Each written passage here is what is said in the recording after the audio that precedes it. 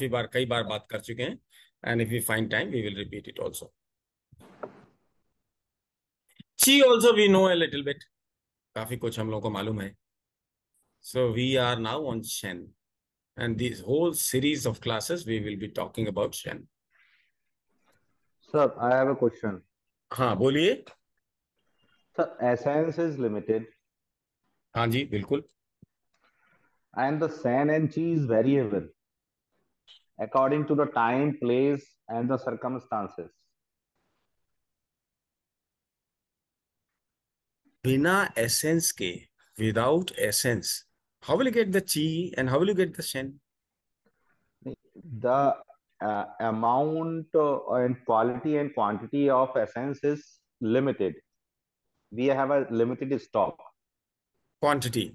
But quantity and quality also uh, to some extent yes it is it is uh, of course depending on you see essence ka kya hai? Essence and shen. These two things i think according to me are a little different as compared to the third treasure which they call chi or we can say that the san or essence are the two phases of coins two what phase of coins head or tail नहीं ऐसा कुछ नहीं है two aspects हमारे आयुर्वेद में क्या कहा गया टू एस्पेक्ट्स शरीर और आत्मा पंच तत्व का शरीर है ना और आत्मा उपनिषदों में ये बात बाद में दिस हैज़ बीन एस्टेब्लिश्ड ये खट धातवा निर्मिता पुरुष। पुरुष माने human being made out of these six things the five elements and the six five elements and the six तत्व हाँ चेतन तत्व तो यहाँ पर ये कंसेप्ट नहीं है। यस सर चाइनीज़ के साथ। चाइनीज़ ने क्या कहा कि whatever is happening is happening because of this hardware, this body and the organs inside it. बात तो ठीक है बिकॉज़ सब कुछ जो कुछ भी बना हुआ है वो प्राण से ही बना हुआ है yes sir chi is the fabric of creation creation और हमारे यहाँ प्रश्नोपनिषद में ये कहा गया कि प्राण से ही सब कुछ बना हुआ है पूरा क्रिएशन यस सर तो थोड़ी सी कंफ्यूजन है? आई डू एग्री कंफ्यूजन है। मेरा मेरा ये कहना था कि शैन वेरिएबल है शैन समय के रेस्पेक्ट में बदलता है व्यक्ति का। हाँ हाँ। हाँ ये भी डेवलप करता है। ये भी डेवलप करता है और उसी तरह डेवलप करता है linear uh, ways of uh, हाँ। एवोल्यूशन वैसे ही करता है। शेन भी डेवल जैसे बॉडी एवॉल्व करती है उसी प्रकार शेन भी एवॉल्व करता है। Yes sir yes sir and is governed by the five element cycle yes sir yes definitely yes sir that you are right okay sir please sir तो Shane को हम लोगों को यह समझना चाहिए कि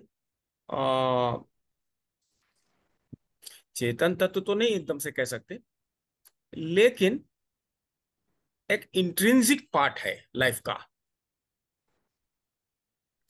Because without mind there hardly any sense.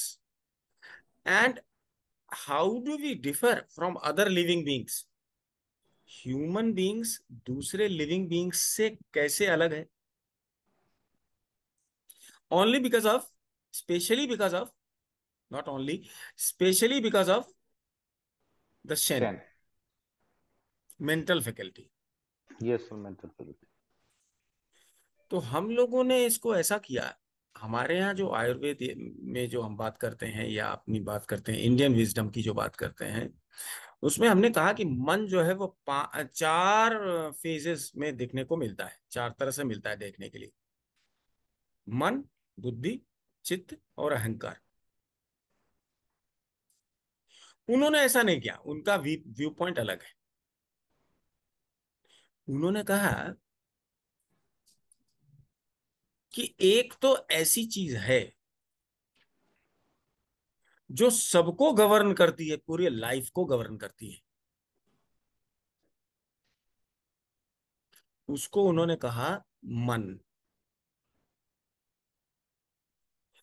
अब मन को तो उन्होंने कहा, लेकिन यही मन इतने प्रकार से दिखती है, चार प्रकार से, ऐसा नहीं। मन मैंने पाँच है ना, हमारे पास पाँच फ़ेज़ हैं, है ना? Wood fire earth metal water तो उन्होंने कहा, मन का आवास हृदय में है। मन का आवास हृदय में। और हम लोग कैसे पढ़ते हैं लेवल वन लेवल टू में? That heart is the mind of mind that is my way of expressing things mind of mind और अगर देखें कि स्टोरेज ओरिजिनल चीज़ की सबसे ज़्यादा कहाँ है? है तो सब जगह, कई जगह मिल रही है। लेकिन एक बड़ा भंडार कहाँ है? हार्ट में है। heart is a great yes, reservoir of original chi, chi originalis, which is in direct communication with the brain. In fact, brain is nothing. It is the heart which is important. Without heart, brain is nothing. Whatever the modern science says, है ना वो क्या कहते हैं दो तरह के death brain death and heart death कहते हैं ना, अगर हार्ट की डेथ हो जाए तो brain can not be revived लेकिन ब्रेन की डेथ हो जाए और हार्ट काम करने लग जाए ठीक से तो probably it can be revived to some extent याद रखिए दिस इज़ द फिलोसफी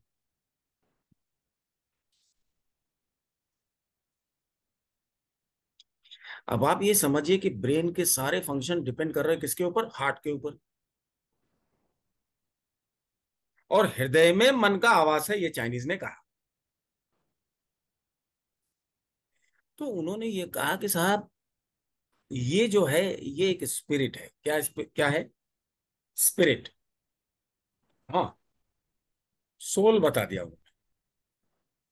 ये सब सोल है। तो उन्होंने कहा एक सोल वो है जो इथीरियल है। इथ, ईथर आप समझते हैं? इथर। आपके वर्ल्ड के चारों तरफ़ एक एयर की लेयर है। और एयर के बाद क्या है? इथर है। ईथर है। स्पेस में जो वायु होती है तो कुछ भी हो यार हम लोग ज़्यादा नहीं जानते ईथर के बारे में। लेकिन कुछ जो हाँ जो भी वो कहते हैं yes, अब उसके चक्कर में मत पड़ो फिजिक्स के चक्कर ईथर है। ना ना ईथर समझ में आ गया इथीरियल सोल अगर इन्होंने नाम दिया है तो इस नाम से आप सोचो ना कि क्या हो सकता है ये। That which is more metaphysical ethereal मतलब? मोर मेटाफिजिकल सब लोग समझते हैं? क्या मतलब है? That which you cannot see that which cannot touch that which you cannot hear etcetera etcetera जो पंच ज्ञानेन्द्रियों से परसीव नहीं कर सकते हैं डायरेक्ट जिसको फ़िज़िकल नहीं कहा जा सकता, वो इथीरियल है मेटाफिजिकल है। एक उन्होंने कहा कॉर्पोरियल सोल कॉर्पोरियल सोल में क्या आएगा? और इथीरियल सोल में क्या है? उन्होंने ये दोनों भाग किए किसके? हम लोगों ने मन को ही कह दिया कि चार लेते हैं। है ना? और एक हम लोगों ने कह दिया, दृष्टा है आत्मा, जिसके साथ मन रहता है। हम लोगों ने क्या कहा? मन कहाँ है? आत्मा में मन कहाँ है? चेतन तत्व के साथ है। नित्य युक्त है।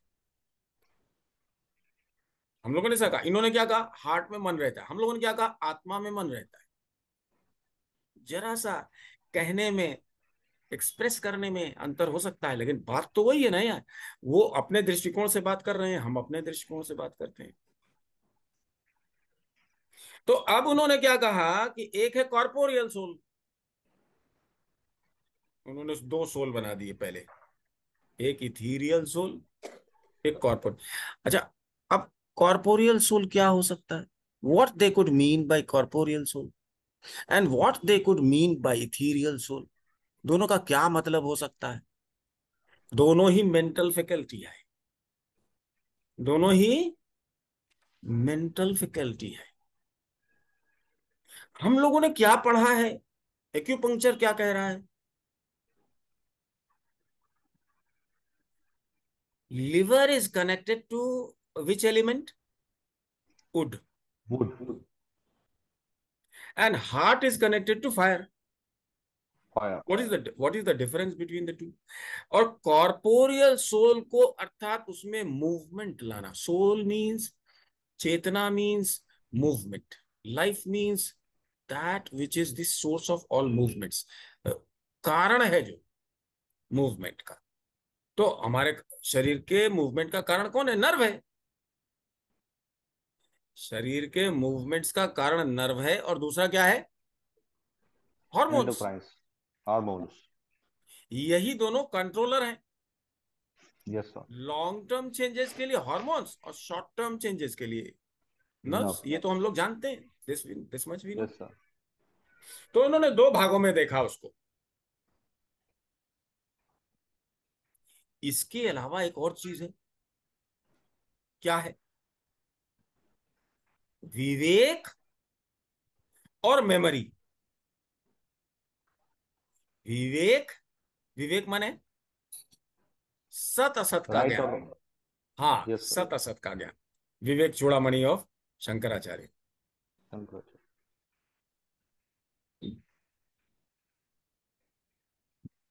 और विवेक और क्या कहा मैंने? मेमोरी। मेमोरी मेमोरी ये मेमोरी बड़ी खास चीज़ है। हम लोगों ने इसे अलग से डिस्कस किया। मेमोरी एक तो वो है, जो हम मान लो किताब पढ़ रहे हैं या अभी आप क्लास में सुन रहे हैं whatever I am speaking हमारे वर्ड्स हैं, जो कि आपके मेमोरी में रहेंगे कुछ, या कुछ हमारी जो बातें हैं उसका एसेंस आपके दिमाग में रहेगा विच यू कैन रिकॉल तो एक चीज़ है कि memory gets impressed impregnated impression पड़ गया। कहीं पर जाकर इंप्रेशन पड़ गया विच यू कैन रिकॉल दो बातें हैं। एक स्टोर होना storage of memory and recalling the memory ये भी है है ना? तो स्टोरेज कहाँ हो सकती है? तो कई तरह से उसको देखा और चाइनीज़ ने समझा। इस प्रोसेस को स्टोरिंग एंड रिकॉलिंग इसको भी देखा उन्होंने भाई, बार फ़र्क तो उन्होंने ये कहा कि अगर ये कॉर्पोरियल सोल है और ये इथीरियल सोल है तो ethereal सोल इज़ that जो कि ज़्यादा मेटाफिजिकल है। मेटाफिजिकल क्या है? हमारे थॉट्स और ध्यान रहे कि ये जो मन है, हमारी जितनी मूवमेंट्स हैं, वो दो प्रकार, दो कैटेगरीज में बांटी जा सकती है। एक शरीर की मूवमेंट एक मन की मूवमेंट मन की मूवमेंट मीन्स एवरीथिंग है ना? एवरीथिंग मेटाफिजिकल सारे थॉट्स मेमोरी है ना? ये सब। तो उसकी मूवमेंट और शरीर की मूवमेंट इन दोनों को गवर्न कौन करता है? तो शरीर के लिए तो हम जानते हैं पाँच ज्ञानेन्द्रियाँ हैं और पाँच कर्मेंद्रियाँ हैं। Five sense organs and five action organs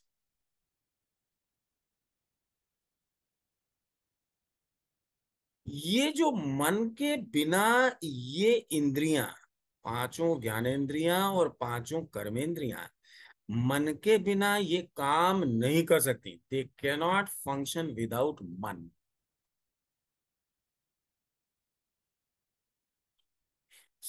इंद्रियाँ काम करती हैं कब? जब मन उन्हें अधिग्रहित कर लेता है। मन के द्वारा इंद्रियों का अधिग्रहण अगर न हो तो इंद्रियाँ निष्प्राण है। काम कर ही नहीं सकती। क्यों?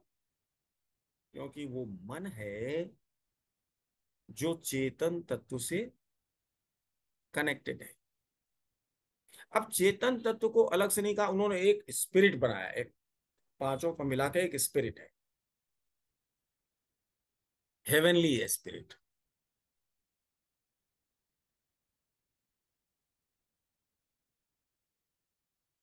अगर हमारा हमें हाथ उठाना है। हाथ उठाने के लिए सबसे पहले हमारे मस्तिष्क में, मन में ये विचार आएगा कि हम हाथ उठाएँ, तभी उठा सकते हैं। तो दोनों बात होनी चाहिए।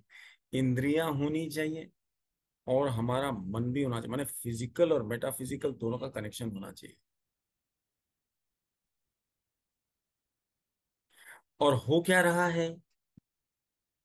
अगर हम अपना मॉडर्न साइंस देखें फिजियोलॉजी क्या कहती है, वो देखें एक्यूपंक्चर को देखें तो नर्व में न्यूरल इंपल्स जनरेट होता है और वो मसल्स तक जाता है कंडक्ट होता है और वो मसल्स को दो प्रकार की एक्शन देता है, एक कॉन्ट्रैक्शन और एक एक्सपेंशन दो ही प्रकार के एक्शंस हैं। ये मसल्स तीन प्रकार के हैं। एक ऐसा है, एक लॉन्गिट्यूडनल है और एक तिरियक है। तो तीन प्रकार के मसल अलग अलग प्रकार के मूवमेंट प्रोड्यूस करेंगे by way of contracting and expanding और ये न्यूरल इंपल्स को जनरेट भी होना है और हमारा मन जहाँ जाएगा, वहाँ पर ये इंपल्स जाएगा। इंपल्स अपने आप से कहीं भी नहीं पहुंचेगा अगर हम राइट हैंड उठाना चाहते हैं तो राइट में ही जा रहा है इम्पल्स नर्व्स लेफ़्ट को अगर हमने रोका हुआ है तो लेफ़्ट रुका हुआ है। ये हमारी इच्छा पर है। वॉलेंटरी फ़ंक्शन है।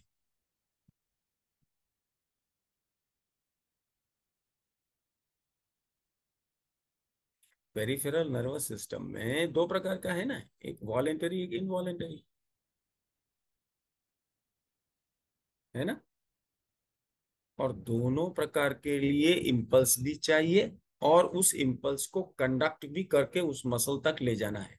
Then only it will move no movement physical movement is possible without muscles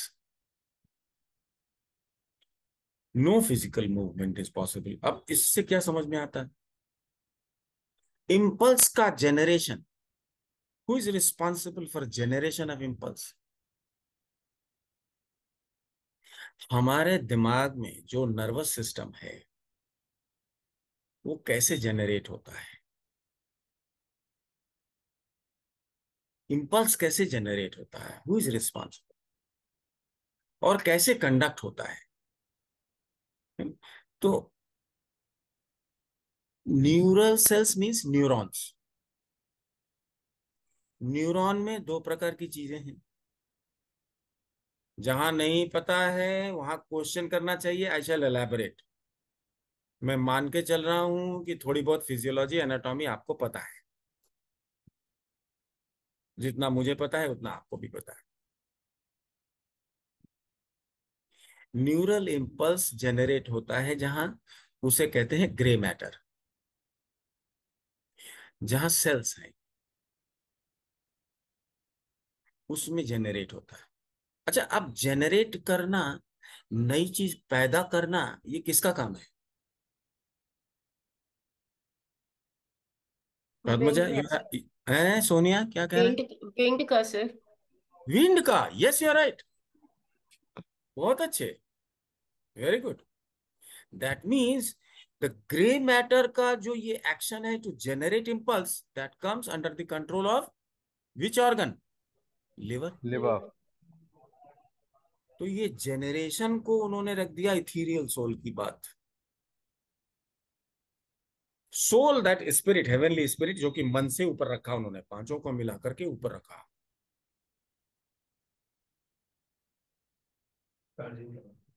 उसको कंडक्ट कैसे करें? ब्रेन में इंपल्स जनरेट हो गया और उसके पैर के टो में जाना है। हाउ शैल इट गो कैसे ट्रेवल करेगा? ये ट्रेवल करता है एक्सॉन्स एंड डेंड्राइट्स के माध्यम से। कोई एक एक्सॉन इतना लंबा नहीं है कि हेड से लेके टो तक चला जाए।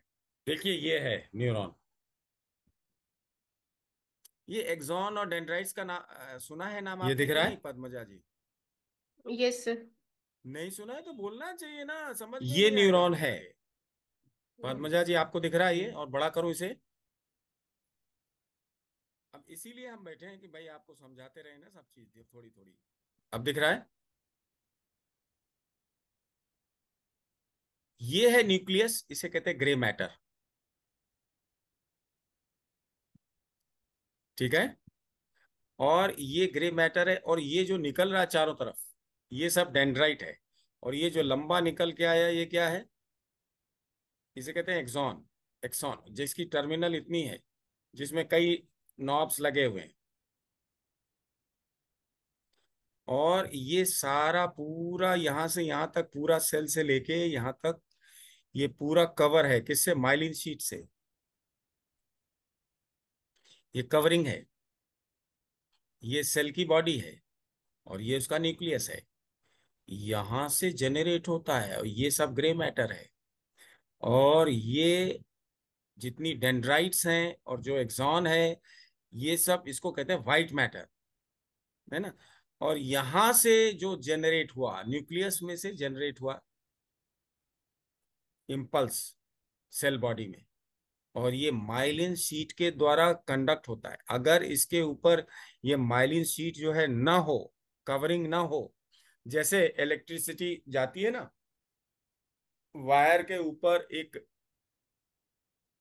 रबर की शीट होती है कि नहीं कवरिंग उसी तरह इस नर्व और न्यूरॉन में एक्सॉन और डेंड्राइट्स जितने इनके ऊपर कवरिंग होती है, जिसको कहते हैं माइलिन शीट। ये कैसे बनता है शेजवान? सेल से बनता है ये कई। हम्म? ये शीट में इंपल्स की वेलोसिटी काफ़ी तेज हो जाती है। अगर ये शीट ना रहे तो इंपल्स हमारा जनरेट होकर का भी बहुत धीरे धीरे आएगा। हाथ उठाने के लिए भी हमको बहुत टाइम लगेगा। अगर ये शीट डैमेज हो जाए तो हाथ हम उठा ही नहीं पाते, बहुत धीरे धीरे उठाते हैं। और कहीं डैमेज है, कहीं है तो उसमें ट्रेमर्स जो हम देखते हैं, वो ट्रेमर्स इसी वजह से होता है क्योंकि माइलिन शीट डैमेज हो जाए। एक कारण ये हो सकता है। दूसरा और भी कारण हो सकते हैं जनरेशन में प्रॉब्लम यही है, वो है। लेकिन माइलिन शीट अगर डैमेज हो जाए तो ट्रेमर्स आएगा। ठीक से उठा नहीं पाएँगे। आप चाहेंगे कि हम कप चाय की लेके हाथ में चले जाए। अगर माइलिन शीट डैमेज है तो कैसा होगा? ऐसे ऐसे ऐसे ऐसे ऐसे तो तार जैसे रहती ना, कवरिंग रहती है। उसी तरह ये एक्सॉन जो है, जो इम्पल्स को लेकर के ब्रेन से या कहीं से भी स्पाइनल कॉर्ड के अंदर से इम्पल्स को लेकर के मसल्स तक जाएगा। मसल्स में बहुत से बटन हैं, उनको वहाँ जाएगा तो दो दो प्रकार की मूवमेंट होगी। एक कॉन्ट्रैक्शन और एक एक्सपेंशन। अब मसल अलग अलग प्रकार से लगे हुए हैं, इसलिए बॉडी में मूवमेंट कभी ऐसे हो रहा है, कभी ऐसे हो रहा है, कभी ऐसे हो रहा है, कभी ऐसे हो रहा है, कभी ऐसे हो रहा है, कभी ऐसे हो रहा है। ये सारे प्रकार के मूवमेंट अलग अलग प्रकार के मसल्स लगे होने के कारण हो रहा है। ब्रॉडली स्पीकिंग तीन प्रकार के मसल है। नहीं कॉम्बिनेशन से चलता है, सारे प्रकार की मूवमेंट बिना मसल्स के बॉडी का कोई भी फ़िज़िकल पार्ट मूव नहीं करता और उसको मूव करने के लिए इलेक्ट्रिकल इंपल्स चाहिए, बिजली चाहिए। वो बिजली को बोलते हैं न्यूरल नर्व वाली इंपल्स न्यूरल इंपल्स समझ में आ रही है? Jaya Jaya ji? Yes sir yes sir समझ में आ रहा है। तो इम्पल्स जनरेट कहाँ हुआ? सेल बॉडी में। कहाँ से शुरू हुआ? कहाँ से ट्रिगर हुआ? न्यूक्लियस में। उसको क्या कहते हैं? ग्रे मैटर और कंडक्शन कहाँ हुआ? वो डेंड्राइट्स एंड एक्सॉन्स तो अब क्या है?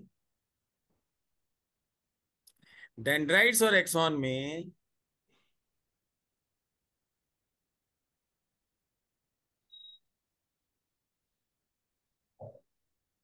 डेंड्राइट्स और एक्सॉन में क्या होने वाला है कि ये जो दिखाई दे रहा है ये दोनों? Can you see. The two images sir. sir. तो इसमें ये जो एक्सॉन है ये वहाँ से लेकर के अब ये एक्सॉन पूरा सिर से लेकर पैर के टो तक एक एक्सॉन नहीं है। इतना लंबा कोई एक्सॉन नहीं है। तो क्या होगा? इस एक्सॉन में एक और एक्सॉन जुड़ेगा। एक और सेल जुड़ेगा एक और न्यूरॉन जुड़ेगा, दूसरा न्यूरॉन जुड़ेगा, दूसरे से तीसरा न्यूरॉन तो कितना भी लंबा पाँच, छह, सात लगा करके जहाँ से जहाँ तक चाहो चला जाता है। एक खास बात क्या है? इलेक्ट्रिक वायर में जब हम वायर को, एक वायर को दूसरे वायर से जोड़ देते हैं तो इंपल्स जाता तो है। इंपल्स जाता तो है। लेकिन उसमें रेजिस्टेंस के कारण पोटेंशियल ड्रॉप हो जाता है। जितनी तेज़ी से जा रहा है, उसमें रेजिस्टेंस की वजह से पोटेंशियल ड्रॉप होता चलता है। तो इम्पल्स जितनी तेज़ी से, तेज है, जो मैग्नीट्यूड है उसकी इंटेंसिटी है, वो कम होती चली जाती है। ठीक है? ये बात समझ में आ रही है कि नहीं? Yes.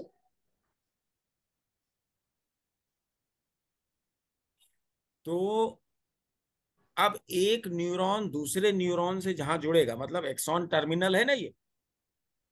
ये एक्सॉन टर्मिनल तो ये डेंड्राइट आएगा, डेंड्राइट, दूसरे दूसरे न्यूरॉन का डेंड्राइट आकर के यहाँ जुड़ेगा। बात समझ में आ रही है? और वो डेंड्राइट से इंपल्स इसका इंपल्स दूसरे न्यूरॉन में जाएगा और दूसरा न्यूरॉन फिर लेकर तो इसमें क्या है, जहाँ पर ये जोड़ है एक्सॉन और डेंड्राइट का जो जोड़ है उसको साइनेप्सिस कहते हैं। क्या कहते हैं? साइनेप्सिस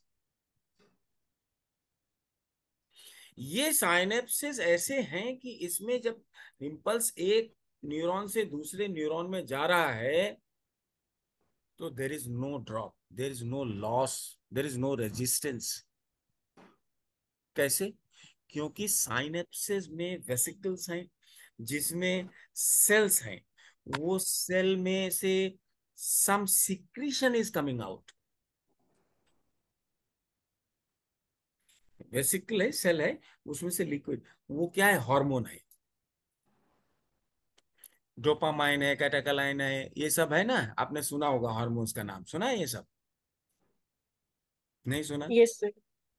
हम्म। ये क्या है? न्यूरो ट्रांसमीटर्स ये कहाँ जनरेट हो रहे हैं? जहाँ जहाँ दो एक्सॉन जुड़ रहे हैं। एक्सॉन का एक डेंड्राइट से कनेक्शन या एक्सॉन का एक्सॉन से कनेक्शन। वहाँ पर जो जोड़ है, वहाँ पर एक फ्लूड है ह्यूमर है, जिसमें across the humour the impulse gets transferred without any resistance इतनी बात अगर समझ में आ गई हो तो बहुत है। इससे ज़्यादा की ज़रूरत है नहीं हमें। समझ में आ रही है? सर जहाँ पे सिक्रेशन हो रहा है वो ह्यूमन की एनर्जी होगी। वही बता रहे हैं अभी वही बताने वाले हैं। बताएँगे। तो आपको ये समझना चाहिए कि जहाँ पर वो साइनेप्सेस हैं कनेक्शन है जॉइंट्स हैं वहाँ पर सिक्रीशन तो मॉडर्न साइंस ने इसको पता किया कि ये secretions they are under control of what तो वेसिकल्स जो है, जिसमें वो सेल्स जो सिक्रीट कर रहे हैं they will secrete if and only if the blood reaches there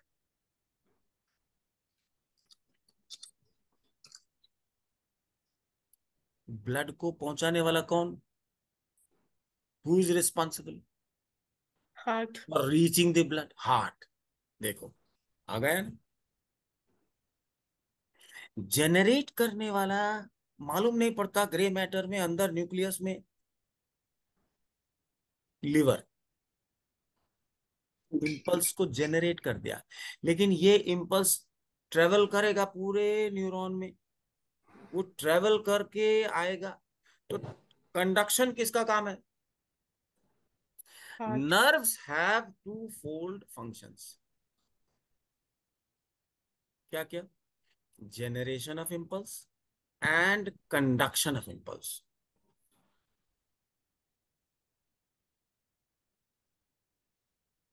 खूब ध्यान से सुनिए। ये समझ में आ जाएगा तो तरह तरह की बीमारियाँ एल्जाइमर्स हो, आपका, क्या कहते हैं उसको ट्रेमर्स हो पार्किंसनिज्म हो ये सारे इलाज आप तभी कर पाएँगे कि जब ये आपको पता हो कि कैसे होता है। नहीं? तो अगर मान लो जेनरेट नहीं हो रहा होगा तो पैरालिसिस हो जाएगी। उठेगा नहीं हाथ। और जेनरेट हुआ और ट्रेवल ही नहीं कर पा रहा, ऐसे ऐसे कर रहा धीरे धीरे। बहुत वीक इम्पल्स आ रहा है। न्यूरो नहीं है रेजिस्टेंस बहुत हो गया। उठ ही नहीं रहा हाथ बहुत दोनों लोग दो लोग मिलके उठा रहे हैं। समझ में आ रही है कि नहीं बात आपको? तो एक बात हो गई माइलिन सीट क्योंकि माइलिन सीट होगा तो फास्ट ट्रांसफ़र होगा इंपल्स का। कंडक्शन के लिए कौन जिम्मेदार है? इंपल्स जेनरेशन के लिए कौन जिम्मेदार है? लिवर और इंपल्स को एक पॉइंट से दूसरे पॉइंट तक पहुँचाने के लिए कौन जिम्मेदार है? Who is responsible for that which energy the energy generated by heart so remember nerve के दो function generation of impulse and conduction of impulse generation is the responsibility of liver and conduction is the responsibility of heart this we know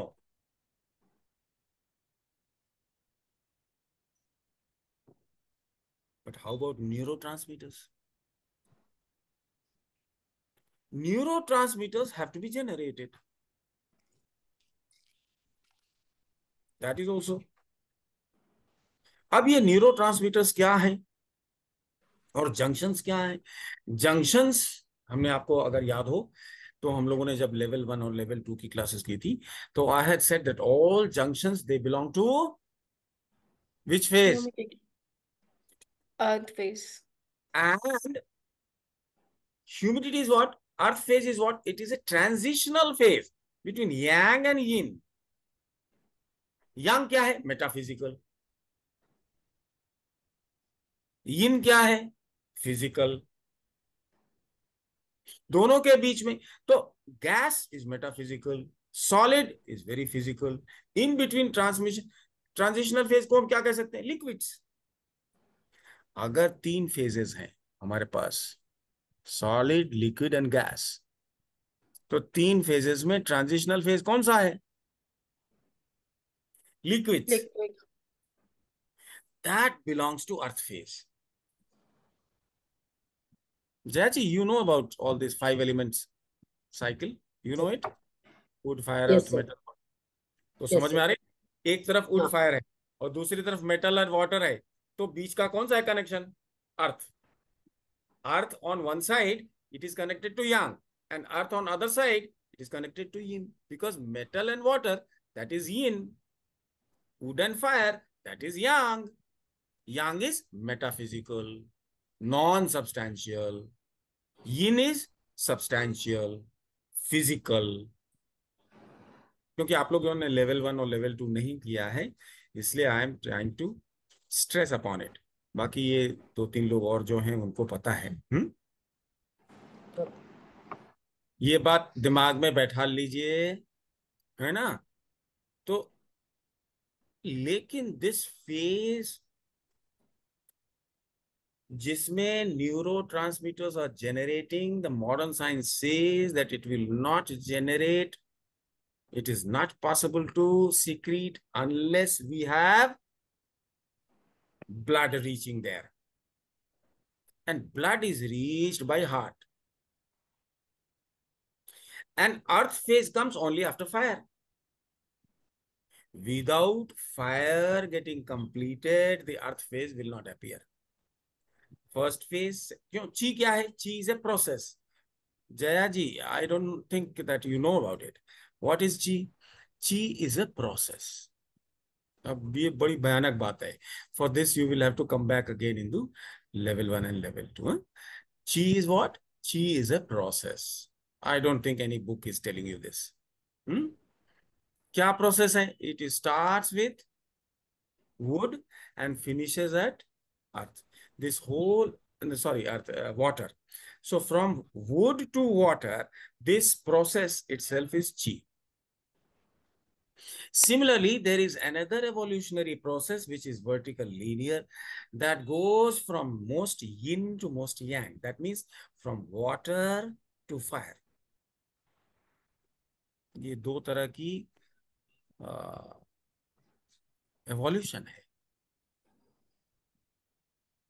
I think it is difficult. If you are not understanding, I shall give you more time and let you know. अगर आपकी समझ में है अगर आप जानते हैं it is all right. Yes. I can understand. Mm. Can So, मालूम है। हाँ cyclical and linear. There are two evolutionary processes. ठीक है Yes, yes. अब ये जो साइक्लिकल प्रोसेस है उसमें भी अर्थ आता है और जो वर्टिकल जो प्रोसेस है उसमें भी अर्थ आता है and it is always transitional and it is always transitional phase hmm और वहाँ क्या कहा कि neurotransmitters are secreted by these vesicles में जो सेल है उनके द्वारा only if the blood is reaching there. Blood reaching blood there is the function of heart. That's not liver. Impulse has been generated. Okay, impulse is carried in the myelin sheet. That is also all right. So white matter is governed by whom? Gray matter, where the impulse is generated, that is under the control of liver. And neuron and uh, axon and dendrites, what are they? White matter. They are governed by which organ? Heart. Heart. lungs. Heart. Rahul कहा हो? Conduction is the responsibility of fire white matter white matter बोला ना। White हाँ तो white matter is conducting the impulse from one place to other place conduction is the function of white matter okay and generation is the function of grey matter लिख डालो भाई। तो grey matter की कोई बात हो? सर एक question और है। व्हाइट व्हाइट और ग्रे की बात है। जब स्पाइन में होता है तो वो कुछ ए, अंदर होता है और यहाँ पे जब होता है तो वो पोजीशन चेंज हो जाती है। हाँ हो जाने तो पे लेकिन ग्रे मैटर हमेशा लिवर और व्हाइट मैटर हमेशा व्हाइट। मैटर वो। हार्ट हार्ट ओके सर हाँ ऐसा कहीं लिखा हुआ नहीं मिलेगा। ओके सर ऐसा तो हम लोग दो और दो चार करके समझ रहे हैं। यस सर इसलिए सब कुछ अगर किताब में होती तो ये क्लास की क्या ज़रूरत थी? है ना? यस सर हाँ this not in the book तो आप समझ लीजिए अभी। होता ना ग्रे मैटर का प्रॉब्लम हो गया व्हाइट मैटर का प्रॉब्लम हो गया हेमोटोमा हो गया इन्फाक्ट हो गया हेमरेज हो गया तरह तरह की बातें आती हैं। You have to know what exactly it is and accordingly select the meridians and accordingly select the energies and then treat. अगर सर माइंड में व्हाइट मैटर इंक्रीज हो रहा है मींस हार्ट में यिन बढ़ रही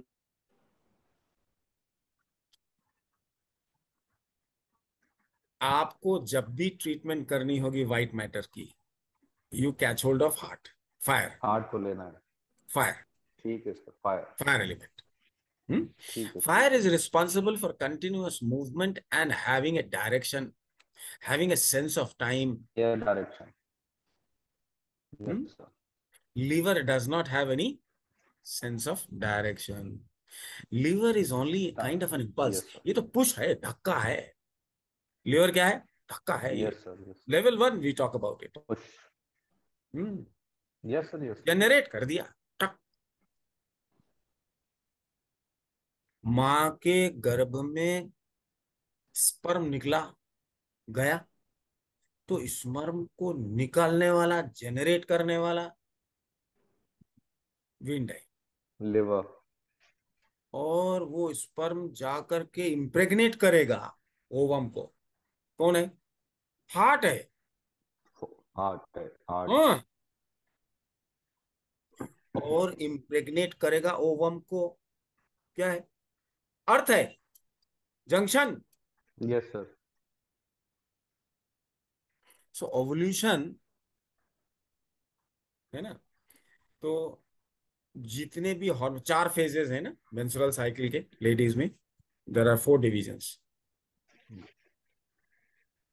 kidney yin is responsible then spleen then kidney yang and then last is liver four phases of females menstrual cycle. तो अभी इसको छोड़ रहे हैं। अभी हम लोगों को यहाँ मन और शन को देखना है। हुँ? तो शन के लिए इंपॉर्टेंट हमारे पास क्या है? एक ग्रे मैटर एक व्हाइट मैटर क्योंकि कॉर्पोरियल सोल को भी देखना है और इथीरियल सोल को भी समझना है।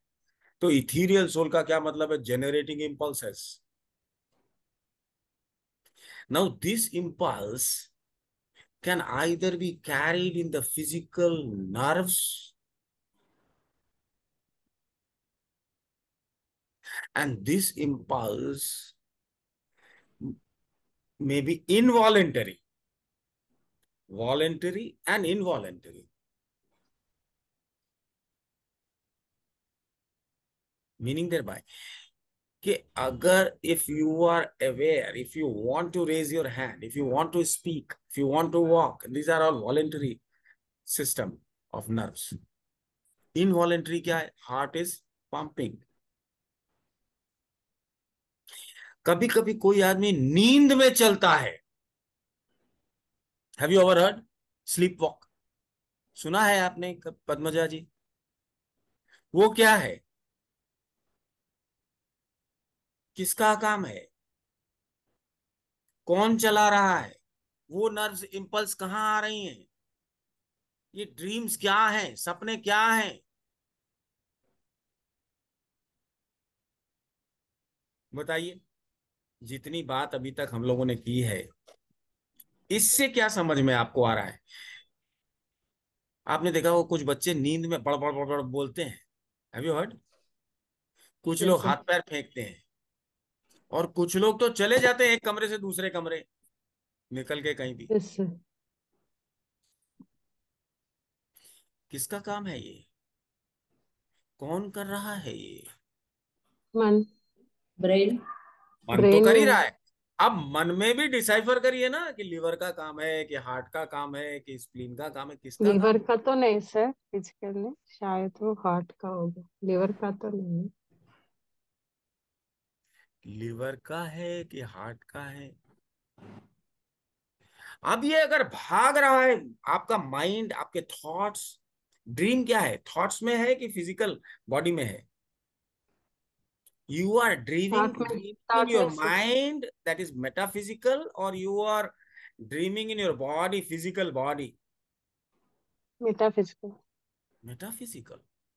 Yes sir. This metaphysical process metaphysical movement that is dreaming etc is more metaphysical than physical. But, like, in usme bhi conduction heart will come. Hmm. So that movement, they said it is not because of corporeal soul. It is because of ethereal soul. Corporeal soul से हाथ पैर चलते हैं आँख चलता है वाणी चलती है पाँचों कर्मेंद्रियाँ चलती हैं ट्रू लेकिन जब कर्मेंद्रियों का अधिग्रहण फिजिकली नहीं हुआ मन के द्वारा तो उसको हम कहते हैं metaphysical ethereal soul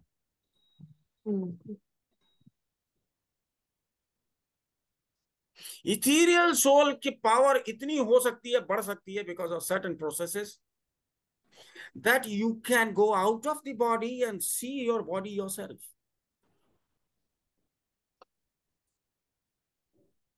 this is a subject matter of ethereal soul and yoga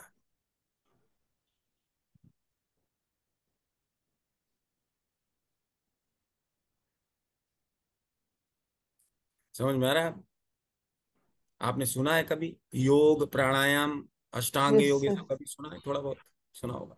we are all Indians so we know a little bit of many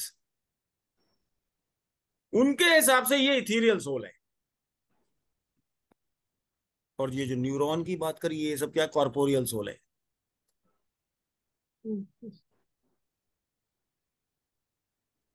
Physical more physical, more metaphysical movement दोनों तरफ़ है। Heart दोनों में है generation and conduction physical भी conduction होगा तो heart mental भी कंडक्शन होगा तो हार्ट जेनरेशन फ़िज़िकल होगा तब भी लीवर मेटाफिजिकल होगा तब भी liver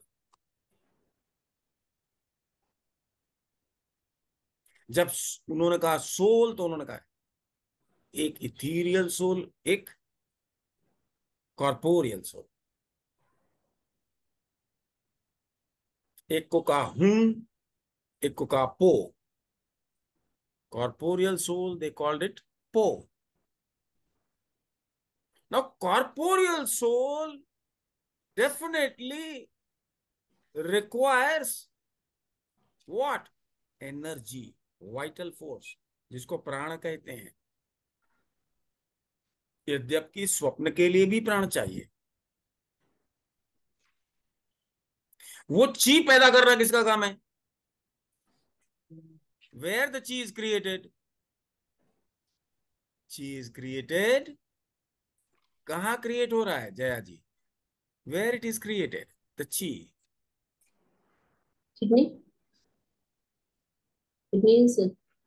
the chi is created in lungs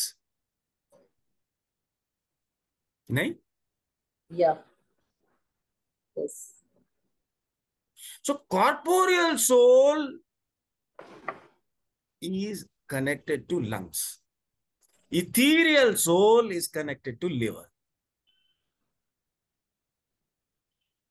So generation of different kinds of impulses, one which becomes metaphysical movement के लिए जिम्मेदार है and the other which is responsible for physical movement both are under the control of liver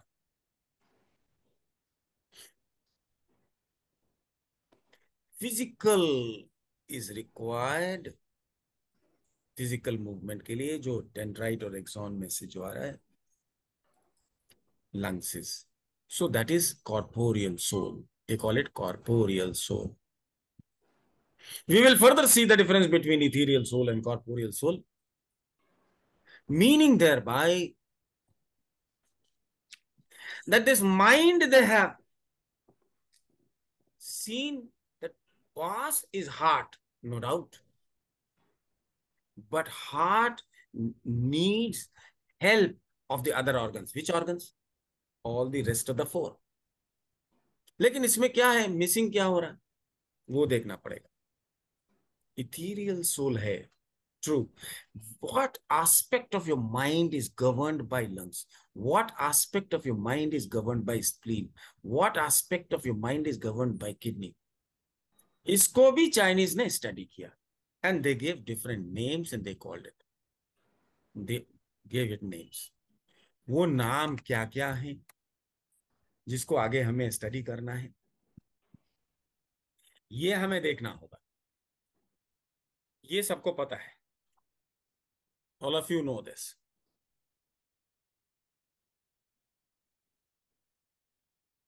right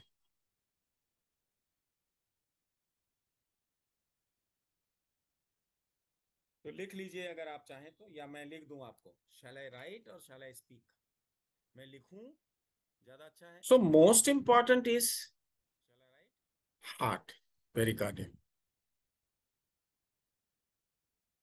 that is known as mind man that is in fact emperor of shen which in collaboration with the rest of the four works and is cause of the function of five sense organs and five action organs. दसों इंद्रियों और विवेक के लिए heart is the boss, of course, needs help of the rest of the four.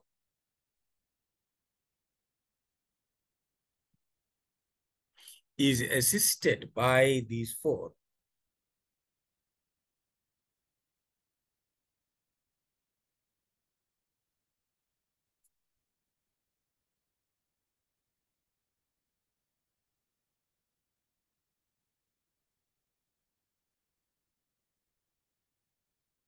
इस mind का क्या काम है?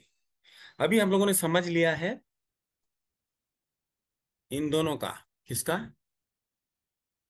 Most important function is the function of these two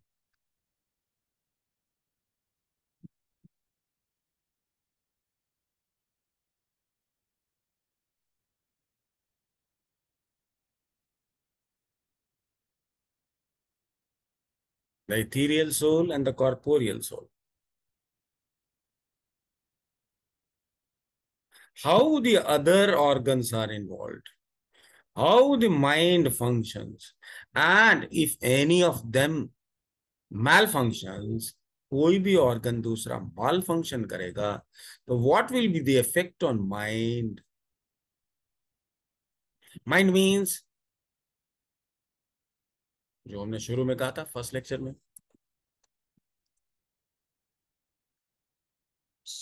emotions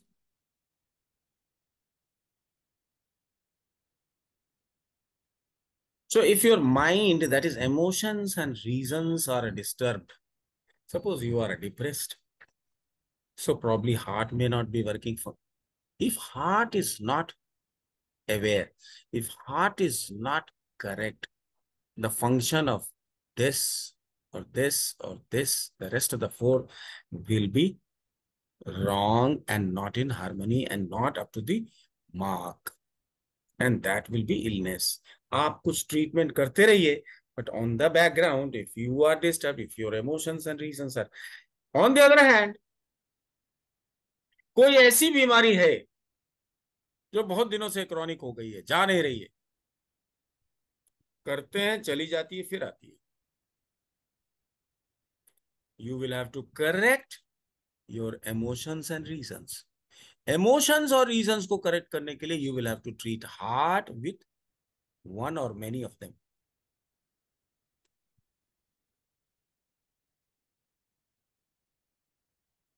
समझ में आ रही है बात? So when we are treating the highest treatment, the strongest treatment. The supreme treatment is the treatment of emotions and reasons. Shen की treatment सबसे high है if you see the hierarchy.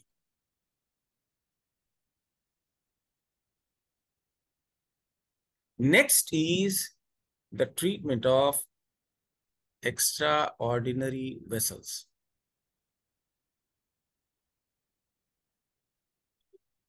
And then comes the treatment through meridians.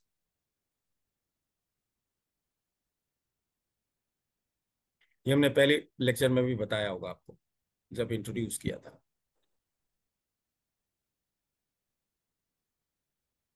समझ में आ रही है अभी? तो कोई ऐसी बीमारी जो जा ही नहीं रही, क्या करना पड़ेगा? आपने सुना होगा अगर स्ट्रेस बढ़ जाए तो डायबिटीज़ बढ़ जाती है। सुना है कि नहीं सुना है जी सर। ऐसा क्यों होता है? इसीलिए होता है। नहीं? तो आपको क्या करना चाहिए? You should treat emotions and reasons of the person हर व्यक्ति के इमोशंस किसी को सैडनेस हो सकती किसी को एंगर हो सकता किसी को जॉय हो सकता। So there are seven major emotions and there are some corollaries related to those seven. There are more ways, manifestation of emotions of a person. उन सबको हम लोग स्टडी करेंगे and which is connected with which particular organ and how to treat them किसी को feeling है guilt की किसी को शॉक लग जाता है कोई किसी को हेट करता है कोई किसी को लव करता है नहीं? कोई बिल्कुल भयभीत है टिमिड है। किसी की याददाश्त ठीक नहीं रहती है। I can't remember I can't recall क्या करें? केवल फ़िज़िकल एलिमेंट की ट्रीटमेंट कर देने से नहीं होगा। That can create problems further or that may not be permanent solution. Both.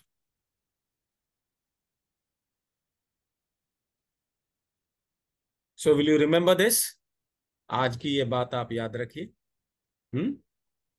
And next Sunday, coming Sunday, we will again meet and we will go further from here. We will start talking about what are the responsibilities of man. This is not mind this is let, let us write it. Man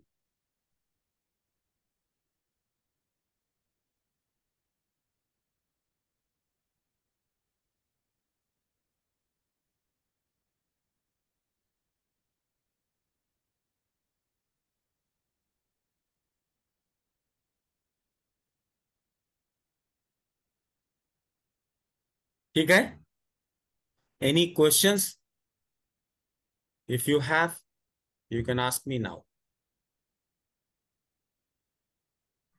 Padmaja has left. I don't know why. Hmm. Anything, Rahul ji, if you want to ask, or anyone? Physical का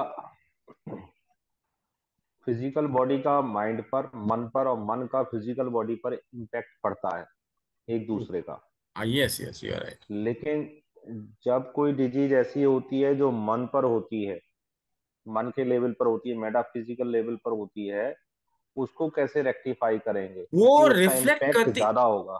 नहीं नहीं as you said जैसे आपने बोला कि दोनों को अलग नहीं कर सकते आप physical metaphysical cannot be separated अगर मन पर Yes, प्रभाव तो कभी कभी मन पर जो प्रभाव पड़ता है वो कुछ लक्षण शरीर में दिखाई देते हैं। और कभी कभी बहुत हल्की दिखाई देते नहीं दिखाई। So you will have to find out confirm करना होगा क्योंकि हर व्यक्ति हर मरीज़ हर जो पर्सन पेशेंट है वो खुल के अपने मन की बात आपको नहीं बताता। तो आपको पकड़ना पड़ेगा फ़िज़िकल कलर कैसा है फेस का हाथ कैसे चला रहा है उसको क्या हो रहा है। So सिम्टम if, से। if you can get into and then check your alarm points और उस मेंटल फैकल्टी में हार्ट के साथ और कौन कौन से ऑर्गन है? उसके अलार्म पॉइंट्स भी बजेंगे। ठीक है। So it becomes very easy. If you know how to categorize and study mind मन को स्टडी हम कैसे करें? हम्म? यस तो मन की स्टडी के लिए हम लोग मन की मन का विभाग कर देंगे। Disturbed mind unsettled mind and weak mind these are three categories in which we will divide जैसे हम लोगों ने आदमी को डिवाइड कर दिया चार वर्गों में। Brahmin Kshatriya Vaishya Shudra. This category this is not caste है ना? तमाम दुनिया भर Yes, लोग sir, इसको yes, बोल रहे कास्ट कास्ट क्या भगवान जाने क्या बोल रहे how they function and where they are seated. Function and place. That decides similarly mind can be studied by category किसी भी अनंत चीज़ को अगर स्टडी करना है नहीं we have to so orient there are two methods western method and oriental method of study oriental method we categorize we classify and study the infinite in a finite way so that in one lifetime only we will study everything. But what about the western style of study? Elements हम लोगों ने जब पढ़ा था कितने थे? 108 element थे। 108 yes sir आज कितने? 122 कितने? 124 और और नहीं आएँगे Yes. कोई गारंटी है क्या? Keep on studying electrons sir, को yes, पढ़ते थे हम लोग चार्ज विदाउट मास आज क्या है? डिस्ट्रीब्यूशन कर्व निकाल रहे हैं उसकी। नहीं? तो that is unending that is western method तोड़ तोड़ के इसको। हम लोग क्या करते हैं? जोड़ जोड़। के common things and that which is making them similar so सामान्यम एकत्व कर्म विशेषस्तु विपर्य सामान्य जिसे है गेहूँ में गेहूँ मिल जाता है। अनाज अनाज को एक जगह रख लो। फलों को एक जगह रख लो। सब्ज़ी को एक जगह रख लो। ऐसा कर सकते हैं। उससे सब समझ समझ में आ जाएगा। अब अनाज है उस अनाज के पाँच हज़ार वेराइटी की चावल है। आजकल तो कम हो गई है ढाई हज़ार हो गई। तो मॉडर्न साइंस क्या करेगा? उन पाँचों हज़ार की स्टडी करेगा। हम लोग क्या करेंगे? अनाज है अन्न। अन्नमय कोश। फिनिश्ड पाँच कैटेगरी में बांट दिया। दैट इज़ ओरिएंटल मेथड ये हमारा तरीका है। यस सर समझ में आ रही? इसी तरह हम माइंड को भी स्टडी यस करें तो हम लोगों ने कैसे किया था भारत में? धी धृति स्मृति तीन खंड कर दिए थे। चाइनीज़ ने दूसरी तरह से पढ़ा। उसने दूसरी तरह से किया। That we will study okay sir ठीक है?